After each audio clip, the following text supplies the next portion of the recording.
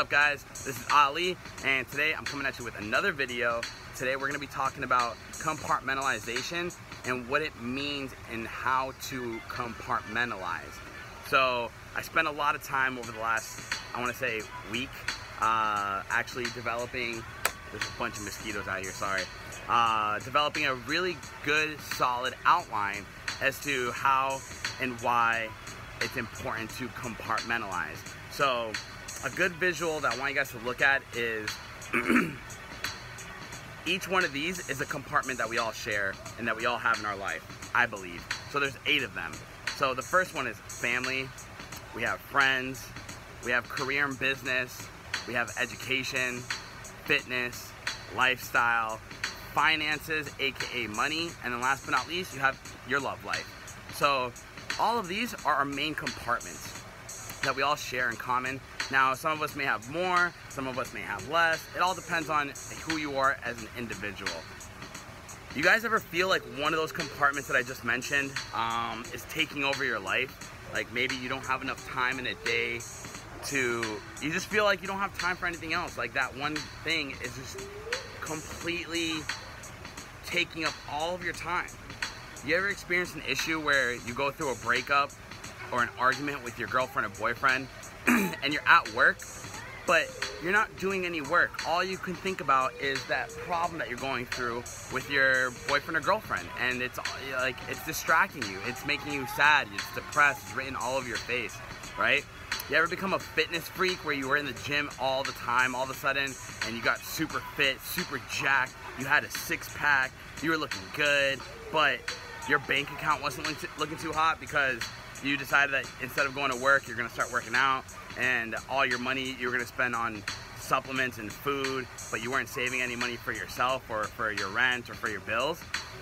You ever try to focus at school and passing a class or multiple classes, but maybe because of some drama going on in your family, you weren't able to actually pass that class or get a good grade on that test?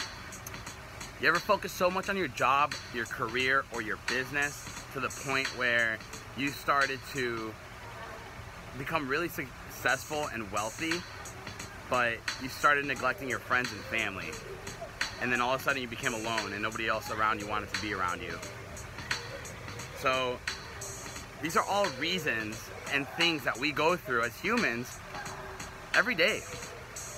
And it's like, how can we win in each compartment? And I want you guys to think of each compartment as a room. How do you go, it's as like a, yeah, like you have multiple rooms in a house. Now, do you want one room to look like a pigsty while the other one is like the nicest room in the house? Or do you want them all to look nice and clean and organized and, you know, welcoming, right? Vibrant. That'd be the ideal case. And that's what compartmentalizing is all about. It's how to actually manage each part of your life without letting one part of it get in the way of another.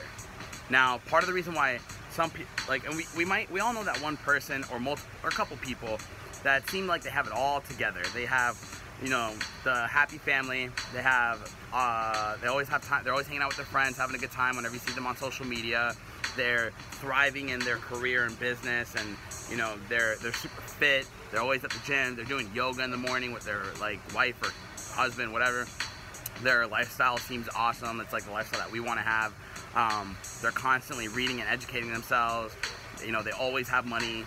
Their love life seems amazing. It almost looks too good to be true, right?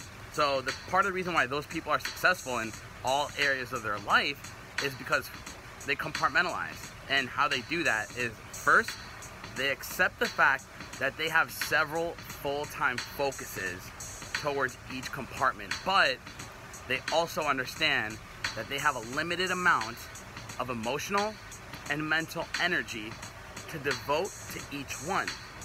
So for example, let's say you have a 10 bedroom house. Okay, it's not really a good idea to really like clean one room the whole entire day because you can spend a little bit of time in one room, get it going, cool. Go to the next room, go to the next room, go to the next room, and get your house looking decent all at the same time, as opposed to knocking out one room at a time. right?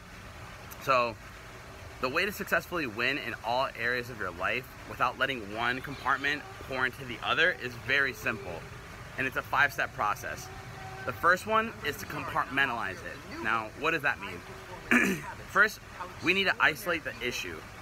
So if we're having finances, finance problems, paying our bills, we're not making enough money or we're irresponsible with the money, okay, we have, if we're at work, focus on being at work. If we're at school, don't worry about the bills you have to pay. That problem's still gonna be there when you finish class. Focus on the study that you need to do right now to get a good grade. When you're at the gym, when you're with your girlfriend or boyfriend, be fully present and nurture that relationship. And then that money problem's still gonna be there later. That family drama's still gonna be there when you get home. So focus on the present and the now. That's number one. Number two, apply extreme focus on each compartment, right? But only for a short period of time. Only for a short period of time. Don't spend the whole week trying to get your finances together. Just spend a little bit of time on it every day. Number three, make progress in incremental steps.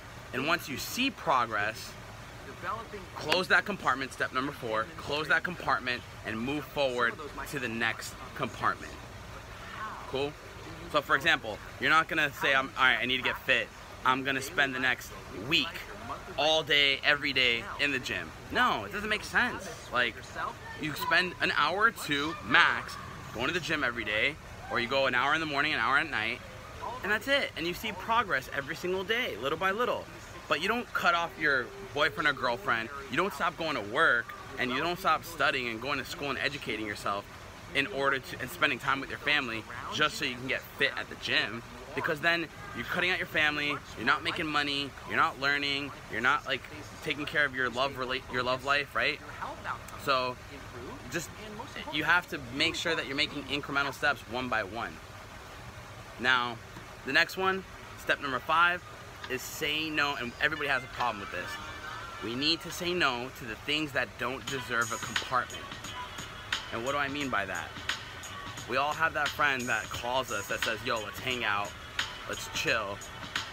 But we know that if we do hang out with them, we're not gonna get anything done. We're not gonna go to the gym. We're not gonna go to the, you know, Starbucks and go study and read or uh, create new content or finish writing my book. We're not gonna, he's not gonna help my career business grow. He's not gonna help me with, you know, good advice on how to actually become better with my family. So I'm not gonna really get anything done, but yet we always feel guilty if we say no, so we end up going anyway. And while we're there, we're miserable thinking, yo, I'm wasting my time. I'm now actually wasting money that I don't have. So say no to the things that don't deserve a compartment. The key is, or the ability to compartmentalize, is prioritize and focus enough time and energy on each area in order to make incremental progress towards a conclusion will be the most important skill set that we're going to develop in order to be successful in our life all around. Right? The example I want to give you guys is let's say in your backyard, you have like eight different plants, eight different trees. Each one's different. You only have a, little, a limited amount of water you have a gallon of water to water each plant. You cannot give them all the e same equal amount of water because they're different plants.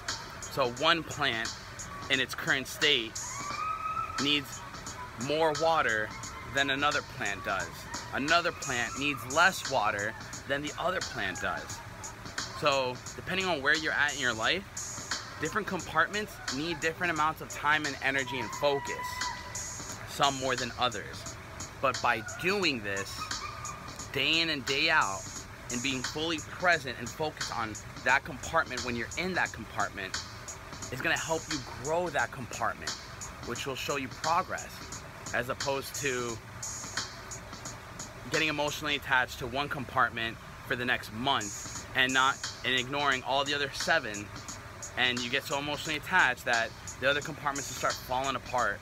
Meanwhile this one may be thriving, but usually it ends up being bad because too much of anything is never good. Yeah, you might get super fit. Yeah, you might spend all this time with your girlfriend or boyfriend. Yeah, you might become a nerd and just constantly study all the time and be obsessed with knowledge, but then everything else is gonna suffer. You won't make time for your family. You won't have time for your friends. You won't have time to go to the gym. You won't have time to get good grades at school. You won't have time to, you know, make money and grow your business. Too much of anything is never good. You need to compartmentalize. And if there's an issue going on in one of the compartments, isolate it from all the other compartments. Be present in that compartment. And whenever you come to this compartment, that's when you deal with the issue. That's when you come up with the solution. That's when you execute. But all meanwhile, focus on each compartment and give it the proper amount of water that it needs. And you will see tremendous amount of growth in your life within the next upcoming weeks. The New Year's is right around the corner and I'm super excited. We got two months until that comes. Let's not wait for the New Year's resolution for January 1st. Let's get that started right now. Let's start working on it right now. We're in this together. Let's rock and roll, baby. I hope you guys enjoyed this. I'll see you guys tomorrow. Same place, same time, same channel. Talk to you guys later.